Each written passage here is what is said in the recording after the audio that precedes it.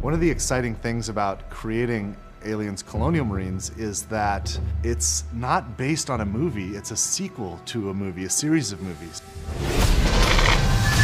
We had Ridley Scott's Alien, followed by James Cameron's Aliens. These movies defined science fiction for so many people, and it's humbling that my studio and I get to create a sequel to these films in video game form. Aliens Colonial Marines is immersive, It's fast, Scary, frightening, Badass. badass. dark, How many fingers am I holding up? He's fine. we uh, tried to take that idea of a really interesting cast of characters and, and, and reinvent it a little bit with uh, Colonial Marines. We're spending a lot of time on the authenticity, the feel of all the weapons, the presentation of the story. We're doing some kind of interesting things with the way that we're presenting objectives and, and, and how you make your way through the world.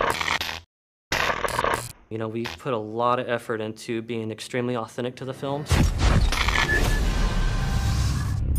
We're trying to be very much within canon, and we know that a lot of the hardcore fans take this very seriously. In the past, there, you know, we've gotten some feedback on screenshots or on some of the videos released, and we take that stuff very, very seriously. We've made changes to the game to make sure that this is what the fans uh, really, really want, and it actually hits the expectations that everyone has. Well, for one, uh, I think one of the similarities that you would find between Cameron's Aliens and where we are with the game is really in sort of look and feel, uh, tone of the game. Has what you would think as if Cameron was directing himself, and at least that's our hope, is that you feel like the cinematography feels correct, you feel like the, the look and feel of the weapons, uh, the way the aliens move, uh, is something that maybe he would have done if uh, he was directing a game like this. So we want to present something that's as compelling and detailed and beautiful and, and, and exciting as the films, but in an interactive experience. So I feel really fortunate to have had the chance to have met with Ridley Scott.